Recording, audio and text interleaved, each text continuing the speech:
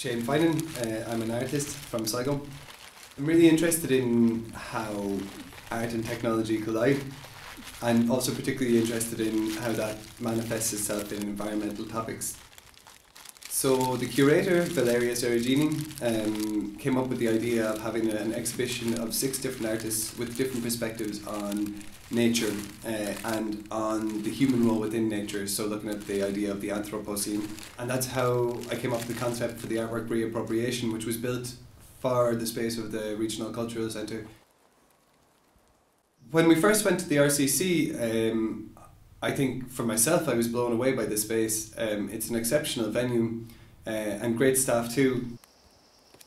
The piece was intentionally built um, as a piece that people would walk around, would smell, would hear, and would be able to see. So the entire location is activated all by the installation that has been built in that space. Uh, and I wanted people to be able to walk around it, and I also wanted people to spend time to think about it and to, to wait and to stay in the room. So there is, within the projection that goes onto the floor piece, there is a, an ongoing idea that something maybe is about to happen. There's just this drumming audio, this smell, this portal to another world. And then you see these creatures, these characters crawling through the underground, carrying and, and scavenging for plastic. And really, what I was thinking about there was this idea of an imagined future where plastic has become a rarity and where, in some sort of mad futility to try and preserve some semblance of a society that is long gone by, the, the, the last remaining people holding on to this archaic system are, are scavenging underground and trying to find the plastic.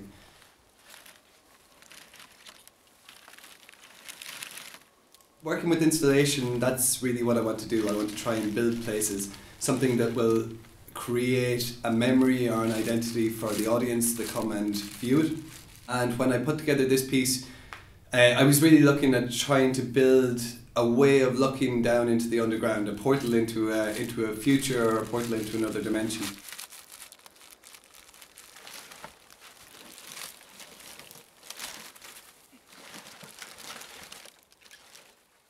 Uh, the second piece that I have showing is the repeated refrains of nature, which was a piece that I built in 2019 funded and supported by Trinity College Dublin Visual and Performing Arts Fund. And it was built for uh, initially for the museum, the zoological museum that is on Trinity College campus. So stopping and thinking was really what that piece was, this piece was about. So the repeated refrains of nature is six di- are six different video screens. On each screen is a different bird, which I recorded feeding in early 2019. And when an audience member walks into the room, the birds fly away it's triggered by a motion sensor in the computer program that I wrote to make the, the overall artwork work.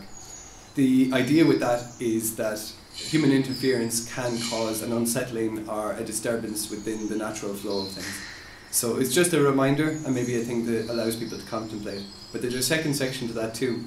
By remaining still and by not moving, by not interfering by being cautious, by being practical maybe in your in your thinking, or just uh, in in the kind of transcendental idea of by being a part of nature yourself rather than interfering with nature, the birds will slowly come back.